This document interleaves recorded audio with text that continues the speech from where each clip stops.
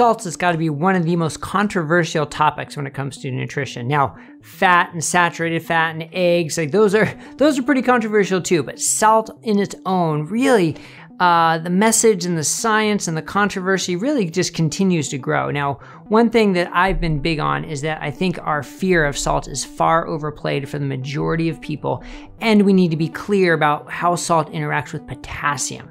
And there's a new study that came out that really highlights this. So I want to re- report this to you so you can understand for yourself whether salt's important and what other factors you need to consider for your blood pressure, your cardiovascular outcomes that may be unrelated to salt. I'm Dr. Bret Scher, the medical director of DietDoctor.com, and the study I want to talk about is called Sex Specific Associations between Potassium Intake, Blood Pressure, and Cardiovascular Outcomes, the EPIC Norfolk study published in the European Heart Journal. Now, before we get started on the details of the study, um, here's the thing. We've sort of been inundated with information saying salt is bad because salt will raise your blood pressure, which will cause poor cardiovascular outcomes. But that simply is not true for the vast majority of the population. There are studies that show there's maybe 25% of the population is salt sensitive, where 75% of the population is not.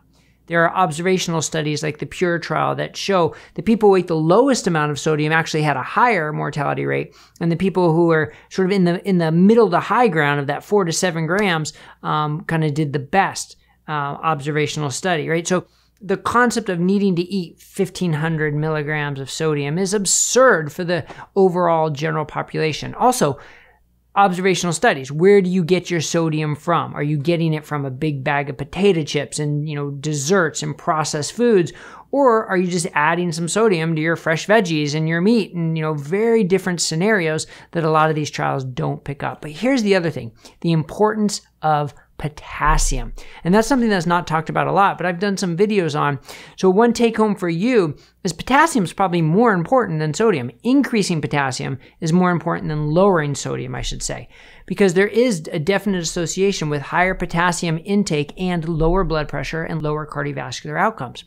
When you talk to, or when you talk about the old DASH studies, which is the this trial where sort of the salt restriction really became most popular. When you evaluate those in the highest salt sodium intake range who also had high potassium intake range, they did not have an increase in blood pressure.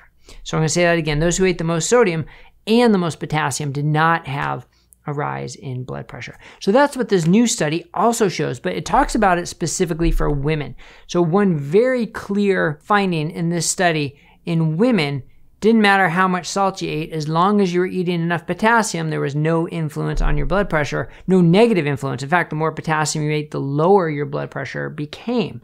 Right. So the importance of sodium in, uh, sorry, the importance of potassium intake kind of outweighed the sodium intake in this study. Now, again, it's an observational study, just data mining from food frequency questionnaires and you know healthy user bias and all those things we've talked about for these observational studies but the report says it was not true for men and this is what's kind of interesting because if you look at it, it kind of was true for men too. And the, before they started adjusting for a lot of different factors, there was a significant improvement in blood pressure um, for the highest amount of potassium intake. But then as you started adjusting for all the differences, which there were quite a few differences at baseline, that's when the that started to, to fade away. So I think the interpretation is that we can't say much about men. We can't say it doesn't affect men in any way. We can't say potassium isn't important for men. The study just wasn't a good enough study to figure that out. But we can say there's a clear association for higher potassium being important for women um, in terms of lowering blood pressure and cardiovascular outcomes. But it doesn't mean it's not for men, right? And this is that concept of um, absence of proof is not proof of absence, right? That just because it wasn't shown to be true doesn't prove it's not true. And that's a, a kind of a tricky concept in, in interpreting these studies that not everybody understands. Me, myself, I fall into that trap as well, that I don't, I'll frequently say, oh, this showed that there's no difference. Well, no. I mean, it showed that there wasn't a difference, but does not prove that there is no difference. And especially when you're talking about a low quality study like this. So, what's the take home? Well, the take home is most people don't have to worry so much about salt. How do you know if you do? Well, if you eat higher salt and you feel bloated and you feel swollen and you're gaining weight, or you see that your ankles are swelling or your hands are swelling, that's a sign that salt causes you to retain fluid. The other thing is if your blood pressure is going up, you can easily measure your blood pressure, start increasing your salt intake, and see if it makes a difference.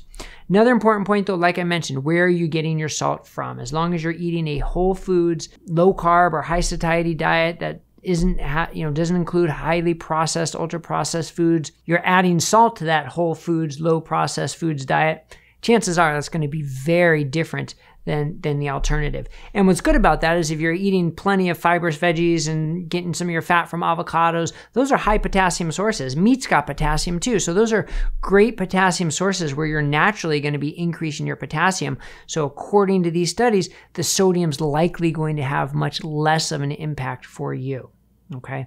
So those are some tips hopefully that you can kind of internalize to try and figure out are you do you need to worry about sodium all this talk about sodium and salt and restriction um, again for most people it doesn't matter but it's important to know if it does matter to you because then it could have an impact on your health but make sure you're eating adequate potassium and if you're not eating high potassium foods, you can take potassium supplements. Just make sure you have normal kidney function before doing that. Talk to your physician if there's any concern there. Um, but those are some important concepts. We got to get away from this salt is bad end of story because it's simply not true. All right. Thanks a lot, everybody. We'll see you here next time on Diet Doctor News on YouTube. Take care.